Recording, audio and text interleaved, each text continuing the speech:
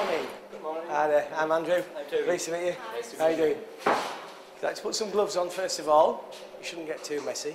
I usually do, but we'll uh, see how we go. What we're going to do, we're going to make some moulded chocolates. So the first thing we need to do is to start off with the quantity of chocolate that's been melted and been tempered. And we buy our chocolate by the ton in small bags like this.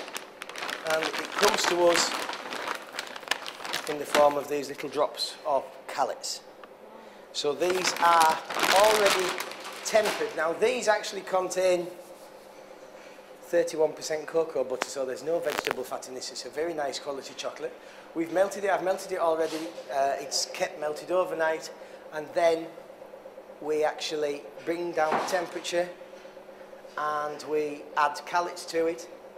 The temperature drops and we actually seed it with more cocoa butter because when we're tempering chocolates we need to stabilize it so that we have really good qualities of snap, contraction and gloss because otherwise you won't get a chocolate that comes out of the mold. What we're actually looking for, if I can show you one of these that we've made in true Blue Peter fashion, what we should end up with is a chocolate that just comes out of the mould like that. So nice and shiny, you can see we've got good contraction in the mould and nothing left and a nice crisp snap. Now, if the chocolate wasn't tempered, there's no way that would come out. Okay. So, so then you can get it out very easily. Yes, it will just, it will just, you flex the mould and turn them out and they should just all come out, which I hopefully I'll be able to show you in just a minute. So first of all, I've got my, my chocolate here.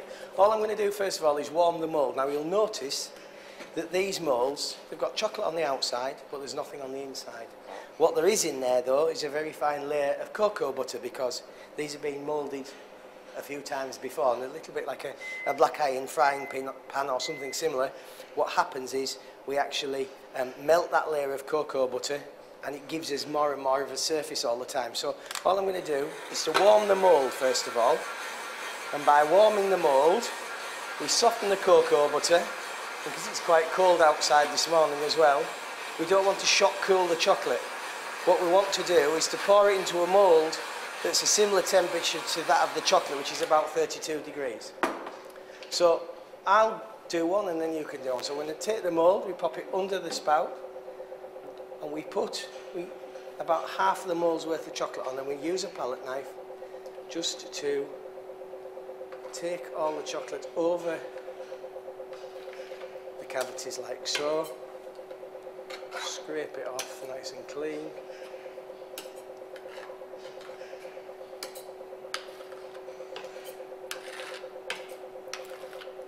Now, into this, we're making a shell. That's the most important thing. And into that shell, we're going to pipe a filling called a ganache. Now, a ganache is a typical filling based on chocolate and fresh cream. But you, nowadays people use things like water and, and wine and beer and all sorts of things. They use water now because they say it gives it a much clearer, cleaner flavour. So we use fresh cream because it's nicer, I like the calories. But what that does do is give us a much shorter shelf life.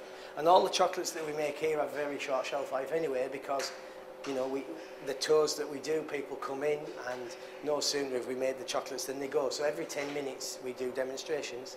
And of course, all the chocolates that we make go out on the demonstration. So when a guest has a chocolate that's been made here, it's probably no more than about 10 minutes old. So it's as fresh as it can be. So what we're going to do, we've got chocolate in the mould. What we have done though now is we've incorporated a certain amount of air into that mould. So what we're going to do is to tap it.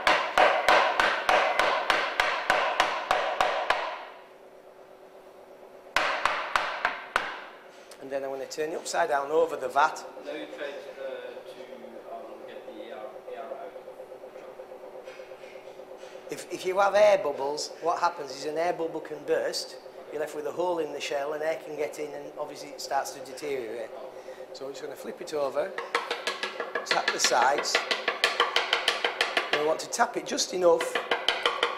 We don't want to take all the chocolate out, but we don't want to make the shell too thin either. And then of course now, scrape it all off like so cleaning it as we go the best we can. And then what we're going to do is pop it upside down onto this glass fibre mat. And in doing so, what's going to happen now is the effect of gravity is going to take the chocolate down the inside of the mould, it'll collect at the bottom edge, and then it will just start to set. And before it sets fully, we can just take the mould again, scrape it back, and so we get a nice even shell thickness. And what we're looking for is something like that. So we've got a nice, a nice even shell. We've got that contraction, and that's ready for the filling. Now I've got some here that are already filled. So we're going to take a port and raspberry ganache. So this is fresh raspberry puree, a little bit of port and some milk chocolate. and it's been piped into the mould. We bring the cream up to the boil we add, and the, with the raspberry. We add a little bit of port at the end and we blend it with the milk chocolate. Let it cool to about 31 degrees and then we pipe it into the moulds. Allow it to set and you can see there's nothing sticking up above the surface. These are dome moulds so they tend to move about in the mould a little. So then we're going to warm that mould surface again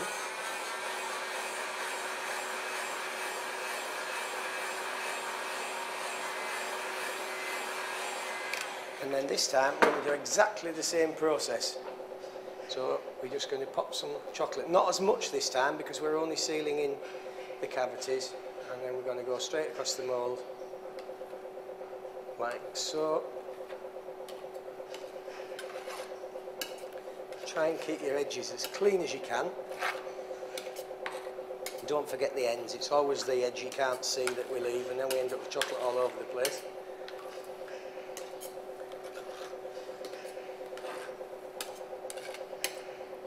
scraper again and straight across the top again.